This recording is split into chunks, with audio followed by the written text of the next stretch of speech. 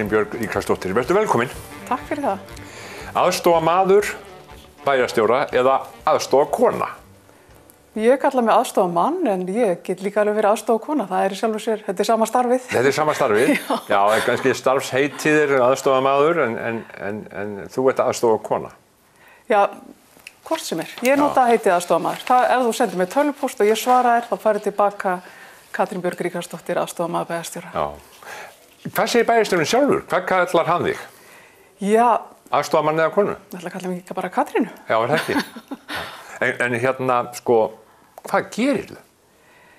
Það er ímislegt sem ég fæði að gera í vinnunni. Já. Það er virkilega fjölbreytilegt starf og það getur verið frá því að, sko, ég hugsa eða stundum líði mér eins og ég sé bortennis allan daginn. Og á, í þeirri merkingu að ég fæ til mín verkefni og Já. ég reyna að klára þau frá mér og sendi þau áfram, hvort sem það er það aftur á bæjarstjóra eða til einhverja annara Já. sem ég þarf að fá upplýsingar frá. Já. Og þannig að, sko, já, ég er svona í að sækja upplýsingar, ég er að vinna verkefni, ég set alveg hellingin allan af alls konar fundum sem að það þarf síðan að vinna áfram með efni úr. Já. Þannig að þetta er virkilega fjölbreytt og málefnin ótrúlega mörg og ótrúlega ólík. Ferðu, sko, ferðu á fundi með bæjarstjóra? Já, ég gerir það stundum og stundum fyrir, fyrir hann líka. Já, og nú fyrir hann? Já, Já. ekki. Æ, Katrín, farðu, farðu nú fyrir mjög á þennan fund. Þetta er eitthvað liðilegt. En er ekki fundir misjaflega skemmtilegir? Jú, og misjaflega gagli líka, eins og kannski flesti Já. kannast við sem að þurfa að sækja mikið að fundum. En auðvitað reynir maður þá sjálfur að vinna í því að gera fundi gaglega. Já. Fundi sem maður bóðar til eða þarf að mæta á til þess að veita upplýsingar eða fá upplýsingar eða fá niðurstöðu ykkur mál. Auðvitað þarf, maður, þarf hver og einn að leggja sér fram. En er ekki fullt af þessu, sko, um, þessum málefnum eh, sem að fjalla er um, er ekki, er þetta allt saman varðandi fólk í bænum eða verkefni eða þess áttar? Hvern, hvernig er þetta? Og á einn eða annan hátt, þá náttúrulega snýst þetta allt um bæjarbúa Já. og velferð bæjarbúa og hvers konar samfélag við viljum byggja hérna. Já.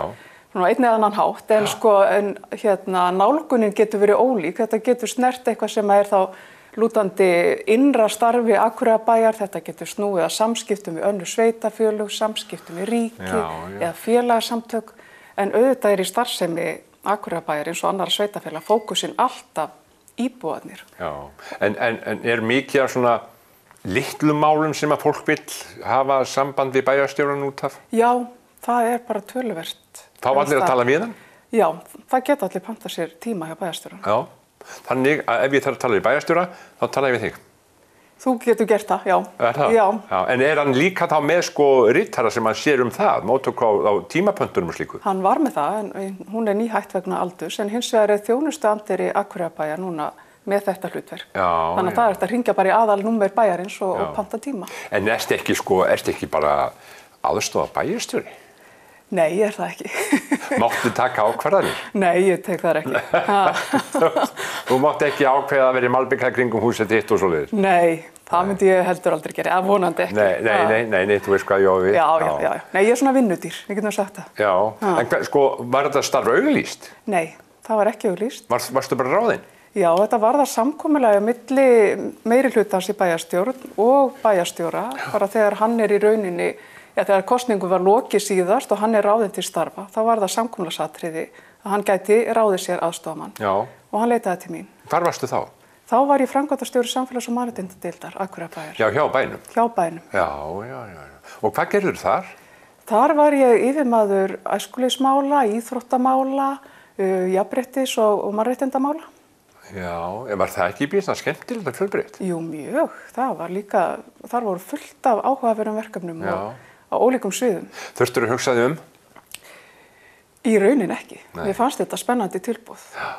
Og ég hef nú sko oft verið þannig að hérna, þegar ég er búin að vera í eitthvað svona ára fjölda á einhvern stað, þá langar mig að fá nýjar áskoran. Já, þá ertu tilbúin að skipta. Já. En þú ert ekki það gömul kona að, að, að hérna, þú áttu kannski ekkit endilega þurfa að hugsa, þig, hugsa til þess að þú þurfir að skipta vegna þess að þú ert að eldast eða svoleiðis. Ég var nú samt búin að vera, hvað, við var búin að vera átta ár sem framkvæmtastjóri samfélags- og mannréttindadildar þegar þetta tilbúð barst.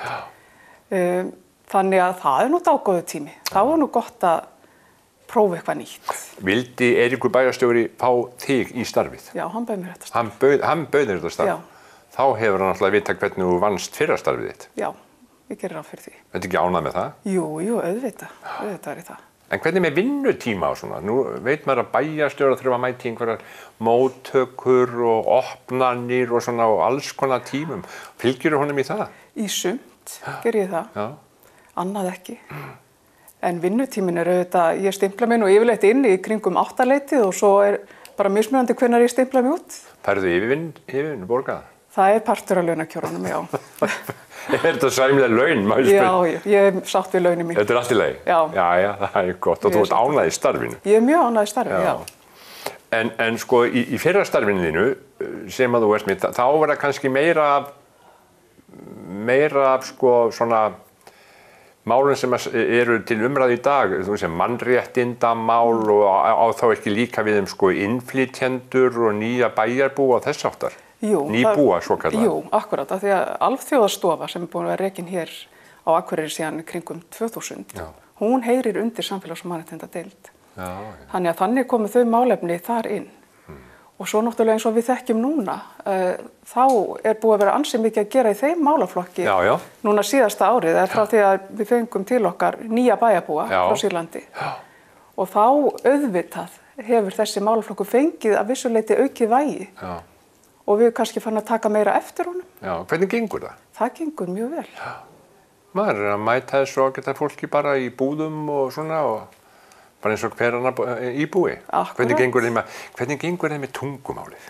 Sko, það er fréttir sem ég hef fengið er að það gangi auðvitað misjaflega eftir einstaklingum en þarna eru einstaklingar sem eru bara flínt tungumála fólk og Já. bara er að ná íslenskunni ótrúlega vel. Já, En eins og við vitum, við ímyndum okkur það, við maður myndum flytja til Sýrlands á morgun og þurfum að fara að læra tungumáli, þá getum Já. við svona rétt ímyndað okkur hvernig okkur myndi ganga. já og líka talað um það að það sé erfitt að læra íslensku. Já, Þetta er tölvert mál. akkurat. Þannig að maður getur vel ímynda sér það. Já. Uh, sko, eh, en annar tími sem þú hefur, frítími, Já, hvað hva, hva gerir þú? Sko, ég hef mjög gaman að því að stunda hreyfingu og útiveru af ymsu tægi. Þú ert nú svona innan gæsalappa fjallageit. Já, við getum alveg sagt það. Já, mikið fyrir útiveru. Já, Já. ég er það. Og það er eitthvað sem að hefur bara, sko, Hvaðan, já, hvaðan kemur það? ég veit það ekki. Þetta, þú veist, ég var aldrei, ég netti aldrei að ganga á fjöll eða hreyfa mér neitt sérstaklega mikið. Það var ekki bara fyrir upp úr fertugu sem að ég fór að fá áhuga á þessu. Upp úr fertug, Já. fertug. Jú, ég, ég var 49 ára bara rétt um daginn. Nei, ég er það, Já, til já. það mikið. Þannig séðu, Já. það er útíveran. Já, það er útíveran. Já, og, já. og var nú hérna jákvæði mitt að nota ammælistæði minn til þess að ganga á kerlingu sem að er hæstafjalli henni eða fyrir. Já, Og það var áskorun. og klifraður þangað upp. Já, já, ég gerði það. Og hvernig var það? Það var frábært. Með Já. hverjum fórstu? Ég fór með manninu mínum. Já. Við príluðum að stað í þokunni síðastlegin laugadag já. Og svo gengum við bara upp úr henni og áttum bara drjúan göngutúr hann upp á topp fjallsins. Stoppuðu lengi uppi? Við stoppuðum örglega í klukkutími uppi, það var svo gott viður. Já, svo þarf að snúa niður. Svo þarf að fara niður. Hvort er erfiðar að fara upp eða niður? Mér finnst í rauninni erfið að fara niður oft. Já, það er það. Já. Já, það er Þá víst. hérna, stundum er það þannig að maður telur áfanganum, eða þegar áfanganum er náð þar sé að þú ert komin á toppin, Já, já. þá svona kannski fyrir að slaka á og ert ekki alveg með einbyttinguna í lægi að fer niður og þá er bara það getur við hrasaði eða hvað eina sko. Já. Og ég hef nú stundum verið átt vanda til þess að fá í verki í hnén, þannig að þá þarf ég að geta mig sérstaklega á niðurleginni. Já, já. Uh, Maðurðinn er í þessu líka. Hver er hann? Hann heitir Örn Arnarsson. Já. Og hvaðan kemur hann? Hann er nú flóttamáður úr Vestmannum, úr, hérna, úr Já, já, já, já. en er nú búinn að búa lengi á Akureyri, flutti með móður sinni hingað. Uh, Nú gerði hann það bara strax þá eða? Fljótlega upp úr Já, fluttu tilbaka já, en, hérna, en svo komum við til Akureyri. Hvað gerir hann? Hann er mentaður leikskólakennari og ferðamálafræðingur Já. og í dag starfar hann í sérdelt Giljaskóla. Já. Kennir þar. Já, já, já. já. E, fjölskyldan stærri, börnin? Við eigum eitt strák Já. Sem er 25 ára gammal. 25 ár? Já. Býr hann heima en þá? Nei, hann er, hérna, hann er búinn að vera í burtu frá okkur frá því um tvítugt. Já. Eftir stúdenspróf. þá Hvað lærir hann? Hann læriði markmiðlunafræði í Reykjavík og svo var hann síðastlið voru að klára bachelorgráðu frá Noregi í leikja og upplifunarfræðum. Leikja og upplifunarfræð. Já. Er þetta fræði um það? Já, það verðist þér allan Maður náttúrulega getur ímyndið sér leikja og upplifun, en Já. einhver fræði í kringum það. Já, og sta starfar hann þá við það? Já, hann fekk afleysingastöðu í Markmjölinarskólanum e, núna í haust og er að kenna. Hann er hérna, hann, barnið mitt er að kenna sem sagt núna. Það er að alltaf já. En þú hefur kennslu réttindi. Já, ég hef það. Hvað lærðir þú? Ég lærði sagnfræði og tók bókmæntafræði sem aukagrein. Mm Mhm. síðan bætti ég mig uppeldis og kennslufræði og svo fyrir nokkrum árum þá kláraði ég mastersnám í mentunarfræði. Já, og þýðir það að þú hafir ætlaðir að vera í kennslu þá eða? Mér fannst það mjög freistandi á tímanbili eð- og svo leiti, ég er mjög praktísk sko. Og ég leit, leita á þetta sem mjög sko praktískan þátt að taka uppeldis og kennslufræðina ofan á sagfræðina. Sá kannski fyrir mér að verða framhaldsskólakennari, það gæti verið Já. eitthvað spennandi. Já, En svo fetaði ég nú aldrei þá leið. hefur aldrei kent? Ég hef aldrei kent. Hvað segir þú? Þú hefur hefur góður kennari. Já, Ég það viss ekki um- bara. Jú, ég viss um það. En, en sko, nýtirðu þá þetta námið? Nýtirðu, ertu að velta þér upp úr sakfræði? Ertu í einhver svona að lesa og skrifa og eitthvað þess aftar? Að vissu leiti og hérna þá býr þessi þekking alltaf með manni. En svo hefur ég samt líka litið þannig á það að sakfræðin sé mjög svona hagnýtt nám. Maður lærir ákveðin vinnubröðum, í vinnubröðum, heimildaöflun, skrif, Já. bara mikil þjálfun í að skrifa og það er eitthvað sem mér finnst skemmtilegt. Já, og það sem átt að segja sko, með upplýsinguöflun og þetta. Já, akkurat, það, það bara nýtist mér mjög vel. Já, En sko, svo hef ég líka ákveðin áhuga við þetta á fortíðinni. já, Það er bara, það er bara þannig. já. Ha. Og e e einhverja sko, einhverja sérstakka grein, tímabil eða þess áttar í því? Ég er sko, kvennasaga hefur verið með, verið með Já, þú hugleikin. ert öll í því. Ég er öll í því. Flott hjá þér. Já, ég aftur það, já. Ég tók áfanga þegar ég var í í HÍ hjá Sigriði T.H. Ellendsdóttur sem að er nú svona frumkvöðl í, í kvennasögu Já. á Íslandi og það kvikt alveg í mér. Það var virkilega skemmtilegt og enda snýrist síðan lokaverkefni mitt þar, snýrist um kvennasögu og síðan í rauninni held ég alltaf áfram á þessari braut og mastersverkefni mitt það var með svona feminísku vinkli líka. Að- Og ég var náttúrulega í starfaði hjá jafnréttistofu hér Já. fyrir nokkrum árum, Og er, árum. og er þetta málefni sem að rættir á heimilinu? Já, já. Hvað ræði þið tvö heima yfir, matar, yfir matnum? Við erum kannski ekki alltaf að krifja feminisma, ég viðkenni það, Já. en umræðan að sjálfsögðu best stundum inn á það, já. Óhjákvæmilega. Já, já, og, og, og er náttúrulega það sem tengist starfi um, mannsins þíns og það allt saman. Já, akkurat. Þið færið mikið sko ekkert bara gangandi á fjöll. Nei, við, hérna, við skýðum líka, Þið skýðið líka. já. Já. En keirið á hálendið og svoleiðis? Ég, sko, þegar við eigum þannig faratæki, Já. þá gerum við það. Eigið það stundum bara? Við eigum stundum einhverja jeppa sem Já. að við notum til að fara upp á hálendi. Já, er, er, er vilji mannsins þeim meina eiga jeppa? Já, eigum við ekki bara að segja það? Já. Ha. Það er þannig. En maður þarf að eiga græjur í allt þetta, gönguferðir, skíðaferðir og svona fjallaferðir og hálendisferðir, maður þarf að, eiga tæki og tól í þetta allt saman. Já, já, það fylgja, fylgja græjur öllu sporti, er það Já, ekki? jú, Já. Ég er nú engin brjálega græju fíkil, en mér finnst gott að eiga margnóta græjur. Já. Ég vil geta að nota sama bakpókan í skíðaferðina og fjallgönguna og, veist, og ferðalæð. Ég, ég nenn ekki að eiga mörg sett, nei, ekki svona Ekki- fyrir þetta og Nei, þetta fyrir þetta. akkurat, ég nenn, nenn. Eitthvað meira sem ég gerið, Fe- ferðist þið mikið um Ísland? Já, við gerum töluvert að því. Það, er- það er mismunandi eftir árum bara, og eftir sumrum, hvernig þau leggjast einhvern veginn hjá manni. Já. Við höfum ekki farið mikið í sumar hérna innanlands en, en sum árin þá bara erum við töluvert duglega að flakka. Ertu búin að fá sumafrí? Já, já, Þú fær sumafrí? já, já. Hjá bæjarstjórunum? Já, já, ég fær það. Fer- hann í sumafrí líka? Já, já, hann gerir það. Ég held að Ah. þetta fólk væri alltaf í vinnunni. Hvað sagði maður þinn þegar þú tókst þetta starfaðir? Hann sagði bara go for it. Já. Hmm. Ekki það að sæði minna af þér eða Nei, lengri bara- vinnutími hjá þér og þess áttar? Nei, nei, vinnutíminn var bara ágætlega langur áður þannig að það er ekkit, ekkit allur munur á því. Já, já. Hvaðan ertu? Ég er fætt í Reykjavík uh, og bjóð þar og á höfuborgarsvæðinu Mhm. þangað til ég var tí ára. Já. þá fluttu fóreldrar mínir hinga norður og ætlaði að stoppa í eitt ár eins og stundum við eins og stundum vil verða. Já. Síðan eru liðir eh, 39 ár og þau eru hérna eða það. Og þau eru hérna þá. Já. Ég hef verið skammaður fyrir það að spurja ekki viðmælendur um foreldra. Já, Hver eru foreldraðinir? fóreldrar mínir heita Marja Árnadóttir og Ríkarður B. Jónasson. Og eins og segi, þau eru búin að búa hér í 39 ár, Já. en pappi hins vegar bjó hérna líka sem krakki. Hann bjó er tengdur hingað? Hann er tengdur hingað, hann bjó hérna kannski á svona í tíu ár sem barn og úlingur. Hver var pappi hans? Pappi hans héti Jónas S. Jakobsson og var myndtökvari. Hann var myndtökvari. Já. Þess vegna vildi ég fara sko eina kynslu tilbaka. Akkurat. Já, já, já. Og kannski margir sem kannast við landnemann hans sem að standa henni upp á kloppunum.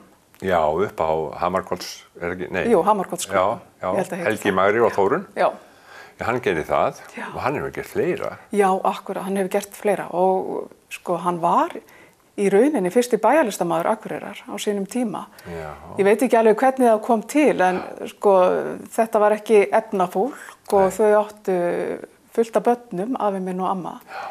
Og uh, ég, einhvern veginn svona, ég veit ekki hvort að bærin á hvaða ráðan til starfa til þess að hafa þannig einhvern veginn Já, já. tækifæri til þess að stiða fjölskylduna. Já. Ég, bara ég ímynda mér það, það getur vel verið að segja bulla. En hann gerði ymsar hugmyndir um fegrum bæjarins. Það var hluti ekki allt náð fyrir hérna, augum bæjarstjórnar eða Nei. bæjareyfvalda. Nei, getur þú nefnt eitthvað? Já, ég get til dæmis nefnt styttu sem að núna er staðsett á vikjarstöðum í Fnjóskadal. Þetta er stytta af nakinu konu Já, sem að var gerð fyrir bæinn en formaður fægruna nefndar á þeim tíma taldi þetta nú ekki hæfa á konu? Nei, Nei. þetta væri, myndir nú særa blíðunarkend bæjarbúa. Þannig að einhver kefti þessa styttu og stað, staðsetti þarna í Fnjóskadal, þar sem hún stendur ennþá. í, í í lundi þar. Já, akkurat. Nei, þú segir ekki, nú þurfum við, nú þurfum við að grafa upp hverða var sem að var formað fægrunarnefndar. Það kannski skiptir einhver máli, ég held að sko, en tíðarandin hefur auðvitað breyst. Já, já. Þannig erum við að tala um árið 1958 eða eitthvað þannig. Ég, ég hef séð sko svona, ég man ekki hvað að kalla, svona veggplattar af, af prófíl Já, einstaklinga, svona akkurat. gips, gipsprófíl, það er mjög fallegt margstæði sem hann hefur gert. Já, það er ímislegt fallegt sem hann hefur gert. Já, ég, ég hérna, ég, ég hef eins og segi, ég, hef, ég vildi endilega tala um það hver að mæri sko, Já, vegna þess að, að ég hef fengið skammið fyrir það að grubli ekki nóg í, í við, viðkomandi. já, akkurat. En segð mér meira af starfinu, hvernig hérna, hvernig sko, hvernig lítur þetta út hjá þig bara mennilegu dagur, þú stimplar þið inn, hvað, hefur ákveðin verkefni til að ganga að strax til að byrja með eða er alltaf eitthvað nýtt?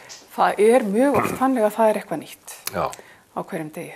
Það eru svona, þú veist, það eru ákveðin verkefni sem ég veit að ég get alltaf gengið í þegar ég hef tíma. Uh, en svo er þetta líka með bortennisin sem ég lísti á þann, sko, það er bara að vera tilbúin og bregðast við Já. ef það þarf að bjarga ykkur. Stundu þarf, þurfa málun að vinna strætt, þannig að þá bara... færðu þarf frið maður að- til þess? Já, já, endanum sko. Erstu með skrifstofu? Ég er með skrifstofu og auðvitað bara loka ég að mér ef ég, Já, að, hérna, já. ef ég vil ekki láta trubla mig. Það er gott að vinna á bæðiskustofunum? Já. Það- Góður vinnustaður? Já, ég myndi segja að þetta að vera góður vinnustaður, góður andi í húsinu. Það er góður andi í húsinu? Já, Það er sko, það er náttúrulega oft svona, að þetta er svo stórt og mikið margt sem þarf að sækja þarna, þá er svona eins og fólk sé ekki alltaf alveg 100% ánægt með þetta. það er bara þannig Já. og við getum aldrei verið 100% ánað með allt. Er það nokkuð? Nei, ég held ekki. En ég vona og held að allir sé að gera sitt besta til þess að þjónusta íbúana og veita þeim upplýsingar og, og ráðgjöf og hvaðina. Þannig að ég vona að það sé að ganga. Er mikið um að einstaklingar leiti til, til bæjastjóra? Já, það er töluvert um það. Eða getur hann vísað frá sér ákveðnum málefnum að þess áttar? Já, já, svo auðvitað þarf hann að koma málefnum í farveg. Það er Já. sko, ef, að, ef að þú kæmir í viðtarstíma hjá bæjarfjöldar með eitthvað ákveðið málefni, þá auðvitað þarf hann síðan að koma því í farveg. Hann sýtur ekki að vera að leysa mál allara, heldur að kemur þeim á rétta staði. Já. Og auðvitað er kannski fólk líka stundum að fara flóknuleiðina að hlutunum, að fara með þau beint í bæjarstjóra. Það er kannski bara einfaldar að hafa samband við viðkomandi dild Já, til þess að fá úrlöst mála. já, já, já, já. En stundu kannski þekkir fólk ekki leiðirnar. Það, það getur verið partur af því. Mm En auðvitað er alltaf best að fara bara og ræða við þann sem hefur með málefnin beint að gera. já. Hvar býrði í bænum? Ég býi í innbænum núna, Hvar í bænum? í Hafnastræti, Númer hvað? 15. Það er rétt við Lagstadshús. Já, það er eitt hús á milli okkar og Lagstadshús. Já, ég, ég, ég veit hvað hús Já, það er. Það er hvítahúsið. það er hvítahúsið, já. Er þið búin að búa það lengi? Við erum búin að vera það núna í fimm ár. Já, já, já. já. Er þetta ekki alltaf stórt fyrir tvær manneskjur? Jú, Og hvað á þá að gera? Ég fann að gröfla alveg í, í, þessi mál. það á bara að sjá til. Já, já, þetta er fallegt hús. Þetta er fallegt hús og þetta er svo góð staðsetning. Ég er bara, ég er mjög hrifin af Gott að- þessum gott gamla að búa í innbænum. Já, virkilega. Og mér er svo gott að búa í göngufæri við vinnuna, Já, göngufæri við miðbæin, stutt í alls konar hlaupa og hjóla og gönguleiðir. En þar sem að þú ert nú fætt í Reykjavík og uppalinn þar að slónulhuta, mm. Maður þinn var í Vestmannegjum, Já. hefur engin annar staðu komið til greina? Til búsetu? Já. Jú, jú, það hefur alveg Hafið þið það. velti fyrir ykkur að fara eitthvað annað? Já, bæði ganni og alvöru. Við erum bara mjög opinn og hreyfanleg Já. í sjálfu sér. Og hvað, hvaða möguleika væri í stöðinni? Ekkert sem að er eitthvað í hendi núna en ég get alveg hugsað mér að búa aftur á höfuborgsvæðinu. Já. Náttúrulega vorum þar meðan við vorum í námi og ég hef alltaf kunnað vel í Reykjavík. Já. Hvað áttu mörg sískinni? Við vorum þrjú, sískinnin. Mhm, já. Uh, Sýsti mín lést fyrir 24 árum. Já. Þannig að við erum núna tvö. Eru tvö? eftirlifandi. Já. Og, og hinn á móti, hvar, hvar, hvar, hvar er hann? Litli bróður býr í Kópavogi. Já, hann býr, hann býr í Kópavogi. Já. Hvað gerir hann? Hann er forstuðumadur í Sælabankanum. Já, það veitir ekki að því. Það veitir ekkert að því. Heyrðu, þið eru með, sko, eru með tök á Akureyri og Söðlabankanum. Já, já, já, við reynum eins og við getum sko. Já. En sem sagt, þegar verða bæjarstjóra skipti, Mhm. heldur þú vinnunni? Nei, ég er með ráningarsamning uh, til 15. júni 2018. 2018. Já. Þá eru kostningar Þá eru kostningar. og þá verður kannski, kannski ráðinn í bæjarstjóri Já, og þá ert þú bara búið með þitt. já. Og heldur þú sjáu þá eftir gamla starfinu eða gengur þið til þess eða, Nei, þá fer ég bara að gera eitthvað nýtt. já, hjá Það bænum? Kannski hjá bænum, kannski annar starf. Ég bara, ég vil líta þannig á að þá hafi ég ymsa möguleika að opna. Þá er ímislegt opið. Já, Já. Þannig að þetta lítur allt svona þokkalega út. já, já. Ég horfi bara bjart Já. framtíðar. Er þið búin að ganga mikið í sumar? Ekkert svo mikið. Nei. Við fórum þannig að þess að ferða á Kerlingu. Kerlingu, já. Já, uh, aðeins búin að rölda eitthvað í vaðalaheiðinni en annars kannski bara ótrúlega lítið þessum. Farið þið þá bara keirandi hérna eitthvað undir vaðalaheiða, vaðalaheiðin og lappi svo bara eitthvað upp í fjallið? Já, já. Það er alveg hægt. Með nesti? Nesti, já, kannski ekki nýja skó en nesti. Nei. Og svo höfum við verið að lappa á fjallaskýðum líka, fengum okkur svoleiðis í fyrra. Já. Það er frábært. Við löpum í, einhvern veginn í mæ, þá löpum við á skýðunum upp á súlur og rendum okkur niður. Alla leið upp á súlu. Já, já. Og hvernig renduð ykkur niður? Bara sveiguðum niður. Erstu góða skýðum? Ég er sæmileg á skýðum. Já. Ég er engin ofurhetja sko á skýðum. En það er nú bratt niður súlur. Já, en það var gott færi. Já. Þannig að þess vegna gekk þetta vel. Já, já, já. já. Heyrðu, það var afskaplega gaman að tröfla því svolítið í vinninni. Takk fyrir það, takk fyrir tröflunina. Já, gaman að spjalla við þig.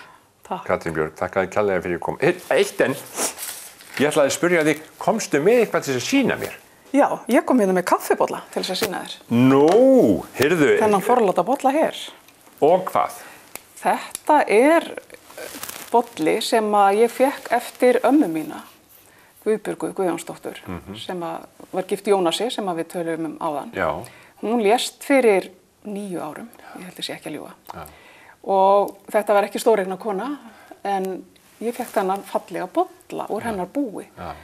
Og ég drekk úr honum morgunkaffi mitt á hverjum mótni áður en ég fer í vinnuna. já, Og lít þannig á að ég sé að drekka þannig einn bolla af metnaði á, á hverjum mótni í hennar minningu því að hún var kona sem hafði ekki tækifæri til að menta sig en Já. ég veit hún hafði áhuga á því hún áhuga. og hún svo sem sko gerði það á setni árum, hún lærði sjúkralega þegar hún var um 60 eða eitthvað en hún hafði alltaf svo mikinn áhuga á náminu mínu og hvað ég var að gera í lífinu Nei, er það? þannig að svona í hennar minningu þá ger ég þetta á hverju mótni Það er fallegt. já, það er gott Þetta er skemmtilegt. En kæra þakki fyrir spjallið og gangi þið vel í starfinu og, og því sem hún tekur fyrir hendur. Takk fyrir það. Takk.